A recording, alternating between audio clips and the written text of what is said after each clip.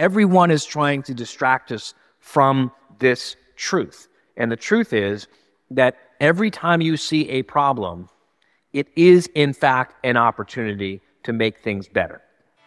You're listening to the Profit First for Lawyers podcast, the official companion show to the book Profit First for Lawyers by RJon Robins. Now, this podcast is for you if you want to bring home more profit while working less hours in the office, spending more time with your loved ones doing the things you actually want to do, and turning your office into a lean, mean, profit breathing machine. So if you're tired of working for your law firm instead of your law firm working for you, stay tuned for some really practical insights that will get you the results you've always wanted. It's time to put your BS aside for the next few minutes and put yourself, your family, your firm, and your profit first. Welcome back to another episode of the Profit First for Lawyers podcast. I'm your host, Carly. And today we're sharing a clip from when I was joined in our virtual studio by million dollar law firm owner Beckie Moriello. Now, you might remember that last time we shared about a self limiting concept that. John calls the doctrine of sacrifice, which we've got linked in our show notes below if you want to take a look. But today we're going to share how Beckie was able to help more clients free up their time and even accomplished a decades long dream that greatly impacted their community and their clients for the better all because they began the work of liberating themselves from the doctrine of sacrifice. This was a really fun interview. And I was pretty impressed at the candor and, and even the openness that Beckie shared with us. I, I think their story is really going to resonate with law firm owners who, well, who may also wonder if they should forget law and just get into construction. All right, let's roll the clip. Beckie, thank you so much for coming on the show today. I am really excited to get to speak with you. Thank you so much for having me. I've been having a great time listening to it.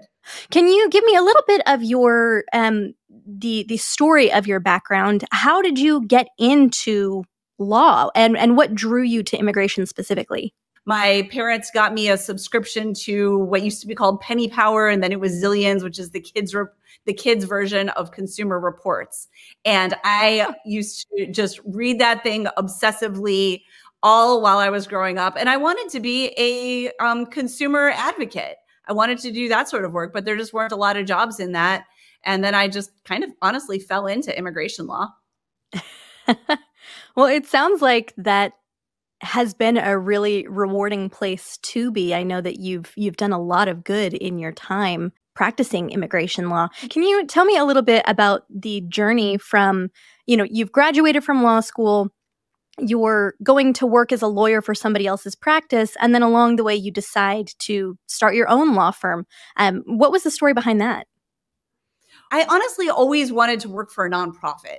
Like I, this was, I was purely do gooder about the whole situation.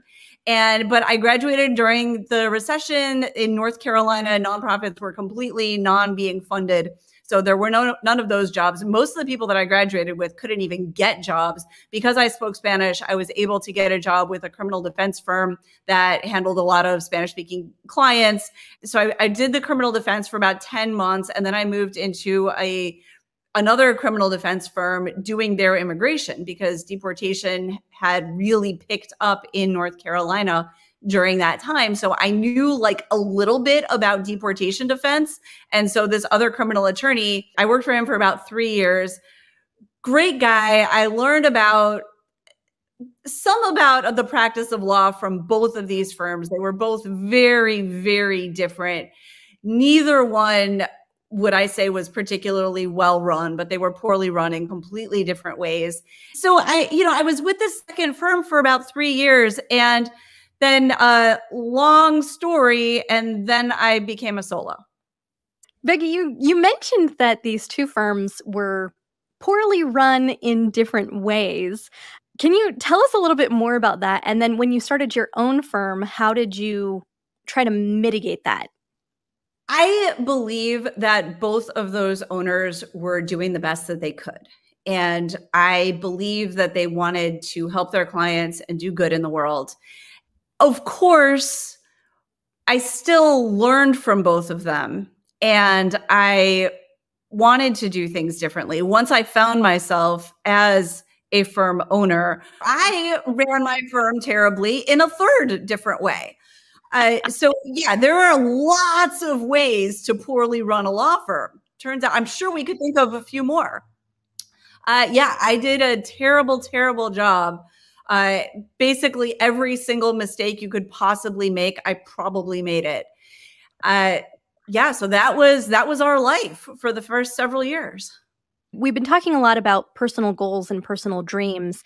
Um, did you have a lot of long-reaching personal goals and dreams and things that you were working towards? No, no, no, no. I didn't think about that at all. Uh, it, you know, now I I think a lot about my personal goals, my financial goals, my professional goals. But to me, when I was a solo, I didn't even think about the law firm management side of things, the law firm ownership side of things. I really thought that it was just this is how you're being a lawyer and it's just structured a little bit differently. That's it. Yeah. Be the I best lawyer you possibly can be, and the rest will fall into place. Exactly, exactly. And, you know, of course, I had to hire staff, but I didn't think there was anything really more to it than that. Like, you get someone, you pay them, and then they do some work for you. And it turns out it's more complicated than that. And so is like everything else with running a firm. Um, but no, I was I was very day to day, get the work done, and then presumably your life will also fall into place. That's that that was the fantasy world that I was living in. how successful was your law firm at the time? Do you remember? So, how successful was it professionally? Um, I, I'm going to start with that because I would say that that was the area that it was doing best. Now, spoiler alert, my firm is now doing way, way more professionally for the world. And that was the biggest freaking myth that I had because I, like I said, when I went to law school, I always wanted to work for a nonprofit. And when that didn't happen, it, um, at that point, I was like, okay, well, I want my firm to be sort of low bono. Like I, money was never super important to me. And, you know, I wanted to make a living, but I, I didn't want to, like, I had no interest in getting rich because I wanted, I thought these were mutually exclusive. I wanted to do good. Therefore, I couldn't do well. Right. Mm. Um, so I wanted to be low bono. And in fact, my email, my website, my email address was raleighimmigration.org. It still is our, our email addresses. And I was like, great. I loved that because I wanted to be a quasi nonprofit. First few years was I was running around like a crazy person, just working my ass off, nights, weekends, just cranking out cases. I, at HTM, they talk about that when you start a firm, you're in hustle market sell mode. I never was. Just right place, right time. I had a reputation. I got the cases in the door you know, they called, my, the sales call was very quick and they signed, and that was it. It was very easy to get clients. So I was just working, working, working, cranking out legal work. And for pennies, just super, super cheap. I mean, I was doing immigration law. My clients were undocumented. And as part of their cases, I had to get their tax returns a lot of the time. And not infrequently, my undocumented clients were, were earning more money than I was. Mm-hmm. And that was confusing more than anything. Yeah. Like literally, I was like, what am I doing wrong? Should I go work in construction? like I went, I don't know. I'm like, I just I couldn't, I didn't understand what I was doing wrong because even though I didn't want or feel like I needed to, or, you know, I didn't want to be rich, but I was like, but I should be making more than my undocumented clients. Like, I went to school for a million freaking years. I'm bilingual. Like, I'm a lawyer. So I was really just confused more than like I wasn't really angry. I was just confused for for years. And so I just figured, you know, give it time. And honestly, I didn't have the hours in the day to sit there and really contemplate it. I was just like, looked at the tax return, huh? Okay, that's weird, and just kind of kept going with my life. And the firm, you know, to take it back to financial, it so it certainly clearly wasn't serving me personally. And uh financially, like I was paying myself $3,500 a month. I did not feel like that was bad. The reason that I even picked $3,500 a month was because in the very early days, I would just informally transfer money to myself whenever I needed it. And then eventually I realized that it was averaging out to $3,500 a month. So then I just set up an auto transfer of $3,500 a month and that was it. And it was fine. And I never went without. I, I got myself everything that I wanted. If I wanted to go out to eat, I did. I lived where I wanted. I drove what I wanted. I I never felt like I was doing without. That was just what I mm-hmm. wanted. And um, but simultaneously, I was just still confused when I would get those tax returns in. So um, within a few years, uh, you know, two or three years, we got up to about five hundred thousand dollars a year gross, the firm, and that was with knowing nothing, just chaos, me working my ass off was the confusion enough of an impetus to get you to try to find a coaching program? What what were some of the things that were going on that that kind of got you to take action? Because it sounds like this went on for a couple of years, right? There were two things that happened that got me really pumped about something's got to give.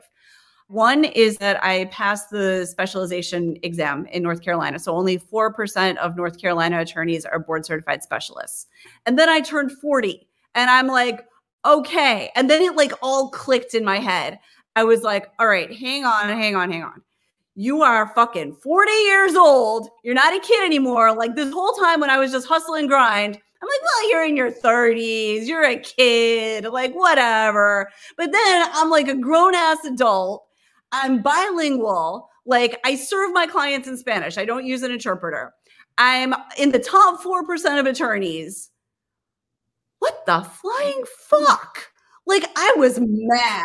I was legit furious at that point. Like, when those things clicked, I went from being confused to being pissed off. So I still didn't know what to do, but I was more, even more inspired to figure it the fuck out, fit for it. I'm like, all right, so I, over the course of the years, I did raise my rates somewhat. So we were no longer a nonprofit or a quasi nonprofit. And even though I, um, in a way, I could see my extremely fucked up firm and just be all resentful. But no, that was a huge opportunity for me. I personally believe that I am so invested in learning how to run my firm better because I ran it so terribly for so long. So we're at a boiling point now. What happened next? So what happened was at that point like so i'm in these facebook groups and i'm asking all of these practice management questions which everyone does on occasion but i was doing it way more than anyone else. And in those groups sometimes people would mention different practice management companies and there were several of them and you know i would look into the different ones and got on some different mailing lists so that's how i got on htm's mailing list. I was intrigued by HTM, um, but I also recognized very quickly because I talked to a lot of current and former members, and I heard very mixed things. I heard a lot of positive feedback and a lot of negative feedback. I heard from people who had worked in firms that were owned by an HTM member. And I heard things like, oh, after she joined HTM, she turned into a money crazed lunatic. Like I heard that. And so, you know, I took all of that feedback and just kind of kept it in mind. And I was just, you know, I got on their mailing list and um, I spent, I think it was probably about a full year on HTM's mailing list reading everything. Every single email, clicked every link, watched every video. So after a year of compulsively following them, I was sold. I was convinced. I was like, these guys know what they're talking about. Absolutely. It was a huge investment. It was literally 10 times as much as the other practice management companies that I was with. And, but I knew something had to change. And I knew that these guys knew what they were talking about. So I was like, all right, let's do this because I want to change my firm and these guys know what they're talking about. So let's do this. And did it turn you into a uh, money hungry law firm owner, Beckie? No. Uh, um, it made me, it made the firm run better, is what it did. And money does go hand in hand with that. That was not my intention. So I talk to a lot of prospective members, and the most common reason that people are thinking about joining HTM is financial benefit. That's the most common. The second most common is about their personal life, you know, wanting to get more free time. Yeah. For me, it was absolutely the opposite. Eh, I mean, money wasn't even a, a consideration, but if we could just get to the place where the firm was running better, where I wasn't allowing the staff to allow things to fall through the cracks, you know, where the client, where we were providing better service. Because honestly, that was my biggest problem with my firm was that it wasn't running well. Like I was willing to continue with the long days if only the firm would run better.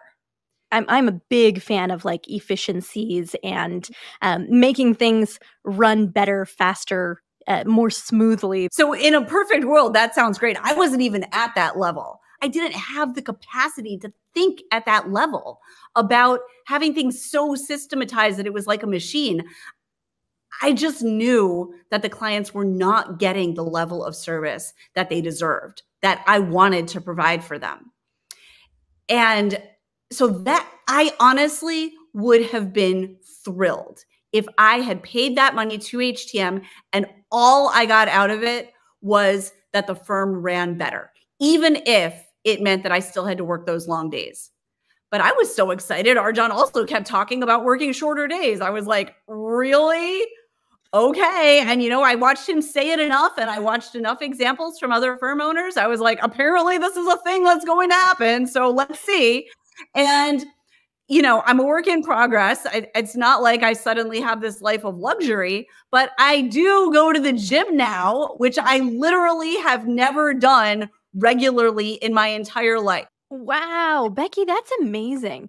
I'd like to know from a personal standpoint too, and I'm sure audience would love to hear what made the difference in your consistency and being able to like follow through with yourself. It was really having a little bit of time freed up. Like I've got my staff is doing their jobs for the most part. I think the numbers are even easier for comparison purposes. I mentioned that the firm was doing between 450 and 550 for several years.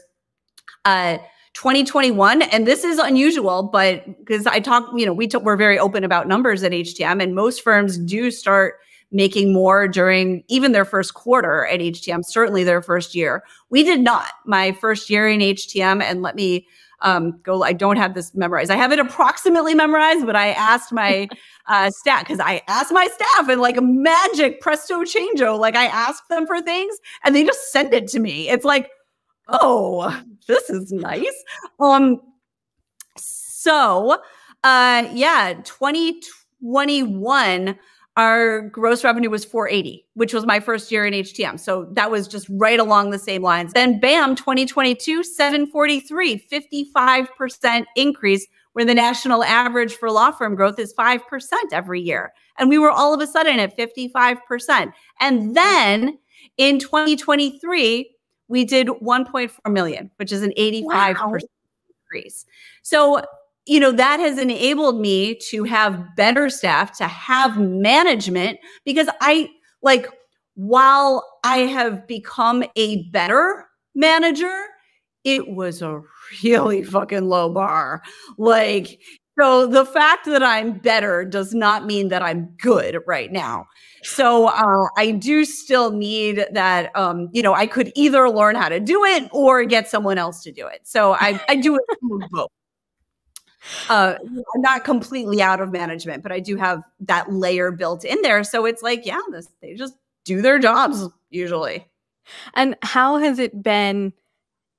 as far as the community, the people that you're able to help your clients? That was my number one reason. I mean, I I wanted to work for a nonprofit. I wanted to help people. One of the myths that I completely believed and I see that at least most immigration lawyers that I talk to believe is that if the way for us to help the most people is by us helping the most people with our own two hands, doing the work, cranking out the work, and of course, charging very little for it.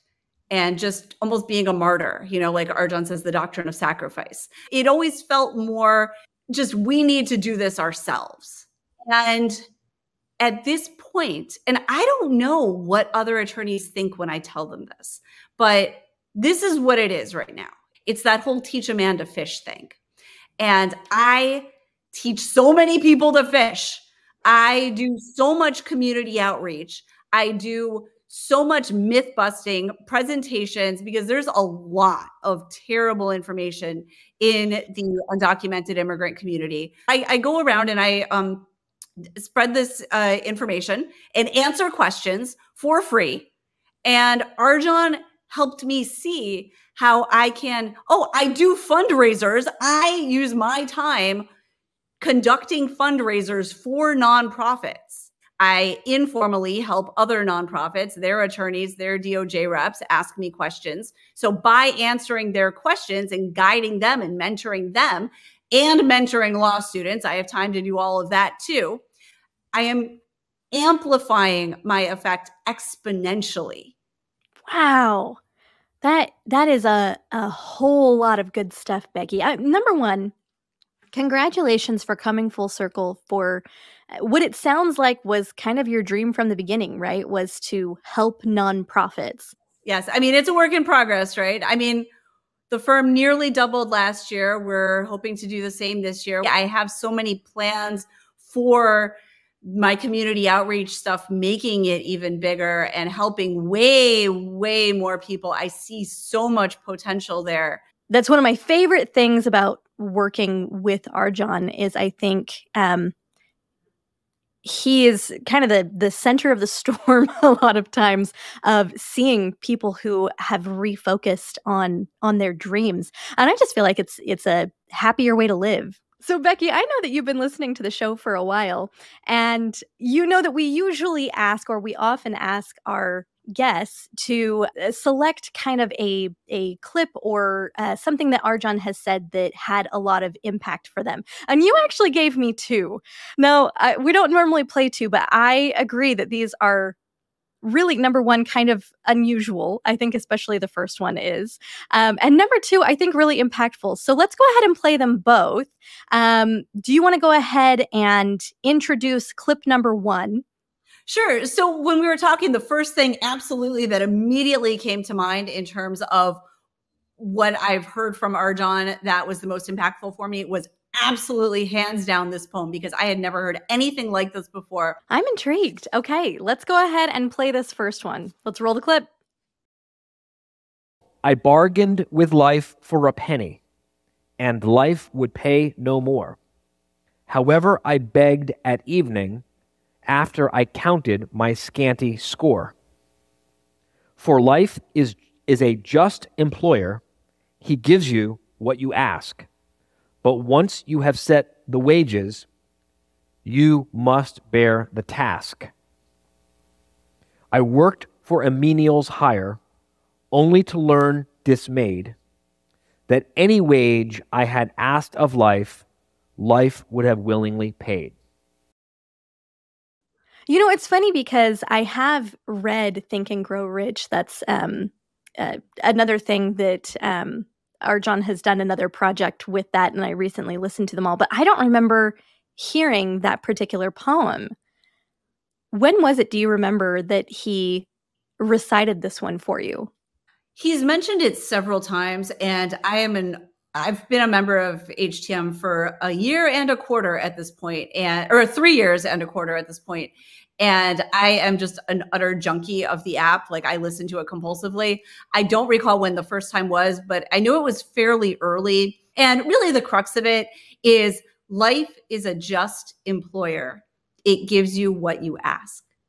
And hearing the explanation of that, I was Oh. thrown away and I was furious. I was furious when I realized that it had to be true because there was nothing else that made any sense. Because remember, I was broke and working my ass off. Just everything I had done throughout my adult life, I was always broke, including when I was a fucking lawyer. And I, was like, this makes no sense. I didn't understand. I was like, what is going on? And that poem was the only thing that made any sense. I was like, oh, because I didn't ask for more. Oh, that's so great. Okay, I think that you gave us a pretty good explanation of this one. Let's move into clip number two. Do you want to go ahead and introduce this one?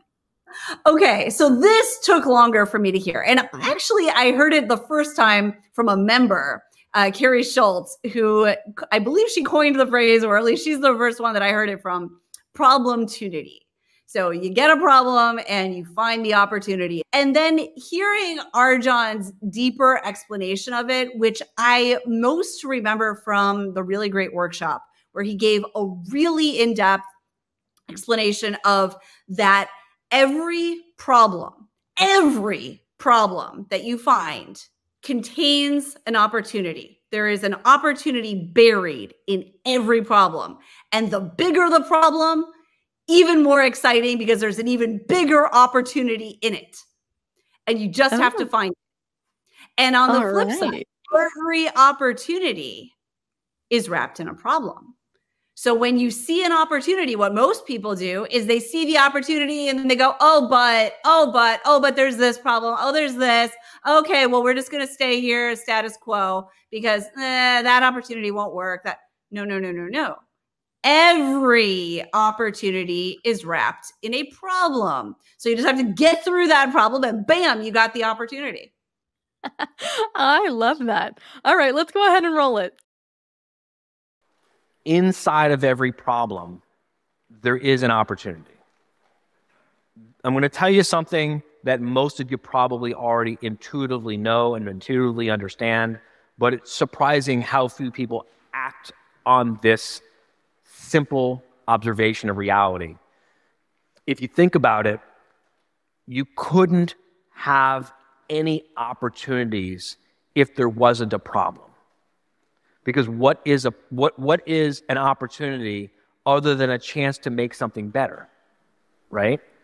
So the the the, the mindset that we need to constantly be working on the, the mindset that i'm constantly working on too right? Because the world is trying to get us to get distracted from this.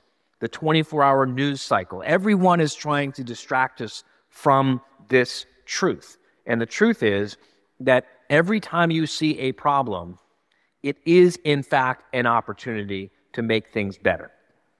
Beckie, I really like that. Now, why um why do you think that this hit you with such force?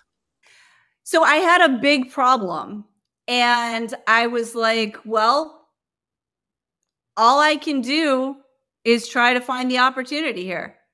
So I thought and thought and thought and thought and thought, and I found it. And I said, you know what? This is my only option. So let's make it work. And I did. And since then, I have been um, finding problem opportunities all over the place. And I've, I've, I've always been a creative person. And just in terms of like not an artist, but just I, I'm always thinking of ideas, and I, I'm, I just consider myself creative. And so, and I love brainstorming. And so when I see a problem, I'm like, okay, let's do it. You know, whether it's for myself or someone else. Oh, I think that's so powerful too. It it um you know one of RJon's favorite books is um The Power of TED. And I think that's a really great way to switch your mindset if you find yourself getting into the victim mindset to switch it back into the creator. Um you know, uh switch your mindset from from being put upon to being curious and um, kind of open to uh, the universe or whatever it is that you believe um, to find what is this trying to teach me or how can i use this as a jumping board? How can I use this as a stepping stone? Um, you know, when I think of gift wrap, right, this is the thing that I have to get out of the way so I can get to the good stuff. Mm-hmm, exactly. And that word curiosity is everything. Yes. And, you know, I do have to say that I personally don't believe that this is 100% always true. I still believe that it is a useful and necessary almost, just really, really, really useful framework to believe in. Yeah. Oh, I still like that though. I, I do think that that switch of mindset really makes a difference. Um, I think you've brought a lot of of real meaty content that that is not only inspiring, but I think there's a lot of actionable stuff here too. Can I ask you, um, for those listening, if there is another law firm owner um, who is maybe struggling with some of the same things, right? Maybe they are trying to find more information on how to better manage their law firm or how to better serve their clients or how to make a living wage. What's one of the things that you did that somebody right now could go and do right now to course correct and to start feeling some of that relief? The concept of that work flows to the lowest paid competent person. There mm. is this saying, you know, about that, oh, nobody is too good to take out the trash. And I'm like, it's not that anyone's too good to take out of the trash. It's that it doesn't make any sense for an attorney to take out the trash. As an example, if you're in the office and the the senior attorney is the only one there and the toilet's overflowing, well, obviously the senior attorney is going to jump in and plunge the toilet. But under no so uh, if there's an emergency you do what you got to do. But under normal circumstances work goes to the lowest paid competent because when people hear this particularly when attorneys because not attorneys get it for the most part but when attorneys hear this they get deaf for a second and they don't hear the word competent. And it's not that you're too good to edit your own brief.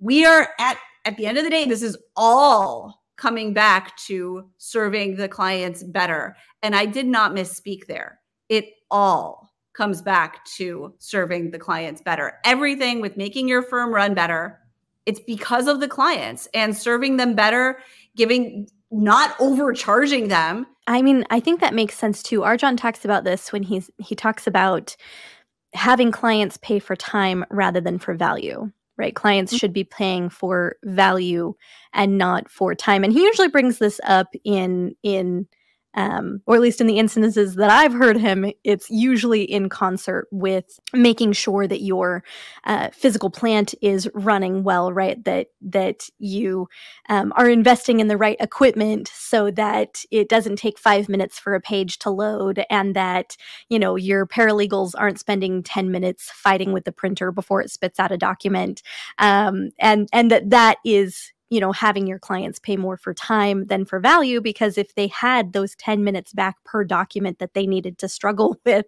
right that they could be spending that pursuing more valuable pursuits for the clients right and providing more value to the clients. So I, I, that makes total sense to me right? The the lowest paid competent person um, so that you can deliver more value to the client and free up more of those uh, hours for being able to dig in and, and do more. Absolutely. Yeah. I mean, you know, paying the attorney's time to do paralegal work just ends up making the client pay for more of attorney time. Yeah. I think that's so so valuable. Um, Beckie, if if we had any viewers who reached out to us for questions about this or who had questions for you specifically, um, would you be okay if I passed those your way? Would you be willing to answer some of those? Oh, absolutely. I do that all the time. And you know what? I don't know if we have time, but I just thought of one more tip for Yeah, bring uh, it on. That are dealing with chaos. And that is don't be afraid to make decisions. Your firm is not a democracy. I look back and laugh about there's one particular instance that comes to mind, just a general firm management question that we spent like two hours in a meeting. And I'm like, in retrospect, I'm like, why did I even care about their opinions? Like, yes, it affect, uh, impacted them, but just just make some decisions at the end of the day you're the owner and make a decision and move on and just think about all the waste all the the cost of everyone's time that is in that meeting just make a decision and move on that is great advice too, Beckie. Thank you, thank you, thank you. I hope that you'll indulge me. It's something I love to ask all of anybody that I interview. Um, I love the variety of answers that I get, and it is what is something that you've taken action on in the last year that has brought a lot of profit to your life right? Where where profit in this instance is RJon's definition which is exchanging something that you value less in order to get something you value more. What's something you've put in place in the last year? Getting a pla which most of our viewers don't know what that is. It's a law firm administrator. It's a manager is somebody with high level high level management experience and he's only been with us for 2 months at this point so he's still in training and even still it's amazing so far. Well, if you have any specific questions for Beckie, feel free to send those my way at podcast at Profit First for Lawyers, and I will make sure to pass those on um, so that we get those answers for you. Beckie, it has been truly a delight having you on today. I am so glad that we got to sit down and kind of do this deep dive. Thank you for being willing to be vulnerable and share some of these, um, the specific numbers and the pitfalls and the challenges, because I think I, am speaking for myself here. Um, sometimes it's so much easier to take a look at where the parallels are and figure out, oh, that's how we get over the next hump. Anyway, I just think it's going to be really, really valuable to our audience. Thank you for coming. I hope it is. Thank you for having me. It was a lot of fun. And yeah, I'm glad to talk to anybody. Hey guys. So, quick note here we really wanted to make sure that we weren't just giving you profitable concepts, but that we were also providing some resources to help you take action and see the results in your own lives. Now, some of these resources are going to be downloadable, some of them are going to be watchable, and others will be live. But all of them will be offered to you completely for free, no strings attached. Now, we do host a Profit First for Lawyers workshop several times per year all over the US, and RJon has finally agreed to let me offer it to our listeners again for free. So, if you're ready to get serious about making your law firm more profitable, click the link in our show notes below and reserve your seat now. Now, fair warning, we do cap attendance at these events to make sure that attendees get some real laser focus on the things that are important to them. And we do always run out of seats, so make sure that you snag your seat. If you want even more insights and even more RJon, don't miss it. Problemtunity. Now, that is such a fun blend of words. I'm about to insert that into my everyday vocabulary. Look, I had such a great time speaking with Beckie. And I was really inspired by the concept of taking a problem and digging into it to find the opportunity, uh, of looking at every problem, every challenge with fresh eyes and approaching it with curiosity. Um, that's what we've got for you today, folks. Let's stay tuned next time as we tackle something that many seven figure law firm owners say is directly responsible for their law firm's growth today. We're going to tell you the quote unquote secret that RJon has used to springboard law firms into their definition of success. We'll see you then. Thank you for joining us on another episode of Profit First for Lawyers. If you're enjoying what you're hearing, tell a friend and visit profitfirstforlawyers.com forward slash action to download the resources that are going to help you put these concepts to work for your law firm. Your future self will thank you for it, and we will see you next time.